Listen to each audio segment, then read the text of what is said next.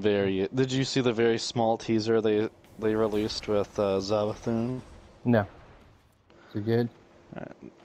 I mean, it's very small. You literally see her from behind walking into a pool of water with a bunch of dead hive in it, and then you can hear who, what the voice is going to sound like for her. Oh yeah. Yeah, cool. I I'm excited. I think one of the few things that Hollywood does not do a good job at is making female villains or anti-heroes, and I think they're doing a really good job with her setup. Cool.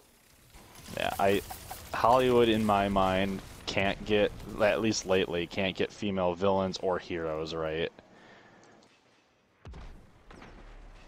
And it's just like Because they always have to add some sort of underlying reason that they're bad. It's like, no, just make them be a fucking bitch. Like, why do we have to have, like, oh, my father didn't hug me enough and this is why I'm actually mean? It's like, no.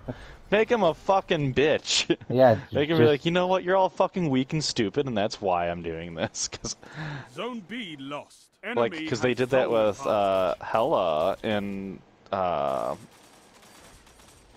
uh, what is it? Uh, Thor Ragnarok. They gave her a reason to be such a bitch. I'm like, no, make her just a bitch. All right, like, don't give her a reason to. Sometimes you need a, a clear villain with no uh, murky water. You know. Yeah. Just needs to be a villain. This war is for territory. Um. One that you can you win. seen Fight the another. Yellowstone series at all? Uh, no, but I know about Yellowstone. Yeah, with Kevin Costner plays a rancher. Yeah. And his family.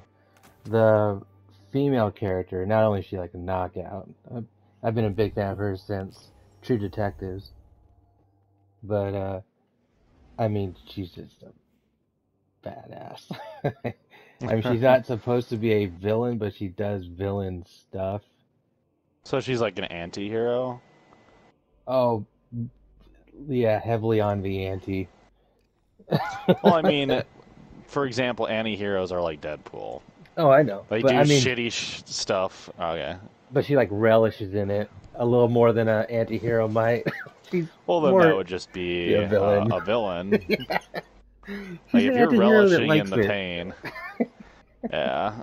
Well, I mean, anti-heroes can like what they do, but like if you're relishing in killing people and doing bad shit, then that's just a villain.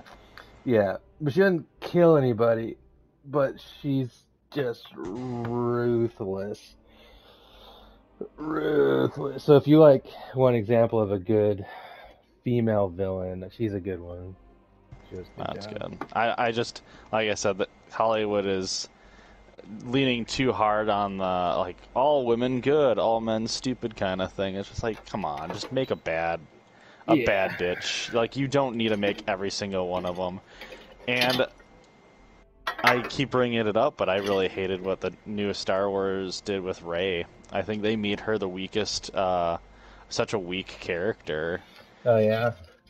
Yeah, I mean, she was handed everything, and she just learned. Like she just knew, was good at everything she did. There was really no struggle,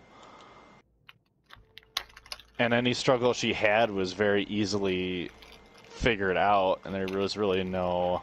She doesn't really lose either in it. She just is good at everything she attempts, and it's just like that's not good writing for a hero. Doesn't she lose her parents? She it, no, she lost her parents before even the first one started. Oh. So we don't even there, know that struggle. Weren't there all we see is took care? Or was that a flashback? no, I'm she was she was on that was a flashback. She's on her own. So before the character's even established, she's already a, a badass survivalist. We don't get to see any of the struggle there. And so that's just one of my biggest gripes with her. She just is good at everything. She takes out. Kylo her first try, who had all these years of training, and you know he's probably killed a bunch of people and fought a bunch of people and fought in a bunch of battles. She's like, "Here's my first time with a lightsaber," he hee, and then just beats the shit out of him. It's like, how? So not only did they immediately make her uh, just super overpowered, they made the villain have no teeth, and so you like there was no conflict, there was no tension when they fought or would meet because you knew that she like she beat the sh- snot out on the first time she even held a lightsaber. How is she ever going to lose ever again? You know. Such lazy In my writing. mind, it's not necessarily lazy writing. They just want like, oh, she's a girl, and we need to be like strong female lead, and so their way of making strong female lead is no adversary, no uh, challenge, especially from a male character, and you know, like stuff like that. And it's just like that's not how making a strong character All right. like think about if you were to watch Superman. All right? And Superman decides that instead of fighting um, you know, Doomsday or something like that, something that you know matches his strength. I'm going to fight Lex Luthor. But Lex Luthor as Lex Luthor like on the streets, a normal human, and it's just like there's no there's no tension because you know he's just can just beat the shit out of him. Yeah. And so it, that's what I'm saying is lazy writing. It, it's like when you, it's clear that this person is going to win, clear that they can just do it on their first try, and the fact that she learns force healing without even, there's not even any practice. She just does something that no other Jedi was able to do, just like it's nothing. Or like Wonder Woman. Yeah. Well, even in the first Wonder Woman movie, there was struggle, and that Yeah. was a good female character because there night- was yeah. struggle. The 1980. But but the but then yeah, the new one is just that's what I'm talking about. There was I she just heard- was like I'm gonna beat the shit out of you. It's like okay, that scene in the invisible plane, one she's never done before. She's like, "Yeah, I heard of Yep. that. It could be possible," and she just like did that's it. that's what I'm saying. And the fact that Rey, who didn't even know anything about force suggestion, she heard it from some dude. Her first try, she just immediately succeeds against those guards. it's like no, like it's okay to have because it's okay to have failure as long as they overcome it. That's the hero's journey. That's why um, the Iliad or the Odyssey zone is such a good no classic example Take of a, a true epic is because it's the hero's journey. He's struggling. He's Well, sure, struggling to get home. He's failing and succeeding, and he's growing as a character. But when you have Rey, who's already already as good as she's going to get, and there's no growth, then it's boring. Have you ever seen the first Aliens movie? First, like Alien. Oh yeah, of course. So you remember how R- Ripley, she goes from being pretty good character, already kind of badass, but she goes from that, that fear, but she progresses and gets better and better, and then eventually in the second one she gets her to her apex of just badassery, but she just wasn't mowing down aliens right away. She actually had to like hide, and she was afraid and everything else, and then eventually she just becomes a badass.